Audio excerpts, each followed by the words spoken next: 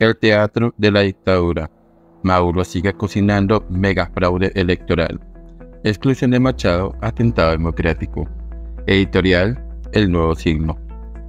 Acto tras acto, la dictadura venezolana sigue avanzando en su plan de fraude político y electoral para alargar los 25 años que lleva aferrada al poder. Un cuarto de siglo en donde la vecina nación pasó de ser una de las más ricas del continente a un estado fallido en todas sus instancias. Esta semana, por ejemplo, el chavismo dio un paso más en su cuestionada e inaceptable hoja de ruta para impedir ser removido del Palacio de Miraflores. Fijó para el 28 de julio la realización de los comicios presidenciales, con el claro objetivo de seguir acorralando a la oposición, que no solo continúa con su principal candidata, María Corina Machado, inhabilitada, sino que además tendría que buscar un nombre alternativo en cuestión de días, ya que la fecha de postulación será entre el 21 y el 25 de marzo. La trama del régimen es más que evidente. Por ejemplo, la fecha del 28 de julio fue fijada por el Consejo Nacional Electoral,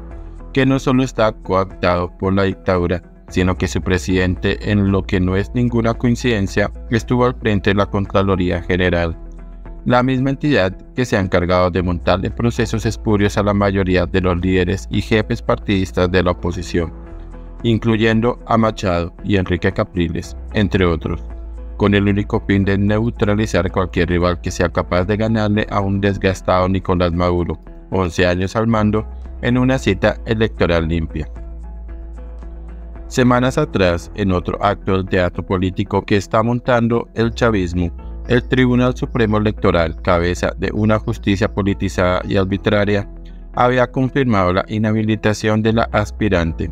pese a que el régimen se había comprometido a gestionar ante el alto tribunal el retiro de la sanción, según los compromisos asumidos en los acuerdos de Barbados. El caso de la candidata presidencial opositora que ganó en octubre las primarias es el más diciente de la trampa de la satrapía.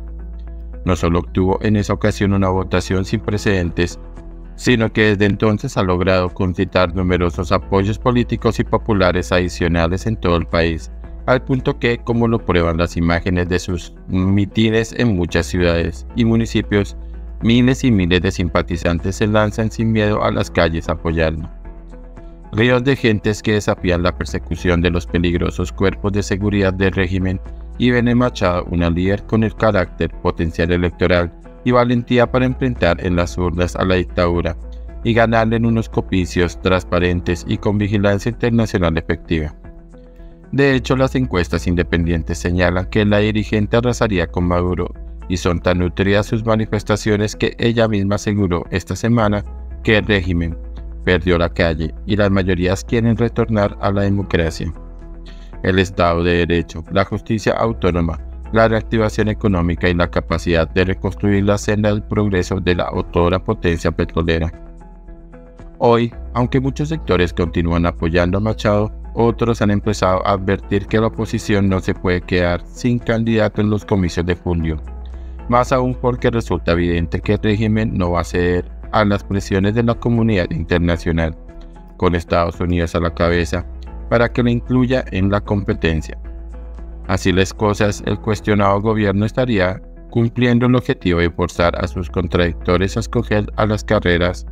un nombre entre los pocos habilitados que le quedan y apostar a que puede tomar fuerza política significativa en estos escasos cinco meses que faltarían para las urnas.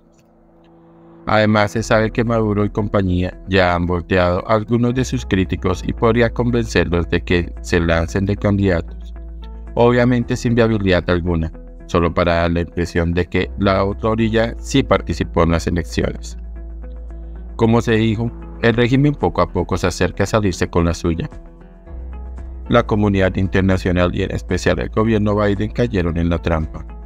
No solo flexibilizaron las sanciones económicas y le han permitido a la satrapía ingresar divisas por las exportaciones minero-energéticas desde finales del año pasado,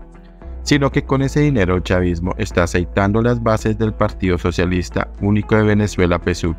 y lanzó esta semana una campaña abiertamente populista de donaciones de colchones, electrodomésticos, zapatos y hasta sanitarios para cautivar a la empobrecida población. Todo ello a la par de una nueva escalada de encarcelamientos a contradictores del régimen. Visto todo lo anterior, solo hay una pregunta. ¿Se resignará la comunidad internacional a ser testigo pasivo del teatro político y electoral que está montando la tiranía venezolana para entrar en un segundo cuarto de siglo en el poder? ¿Aceptarán enviar misiones de observación a unos comicios en que se excluye a la principal y más viable aspirante de la oposición?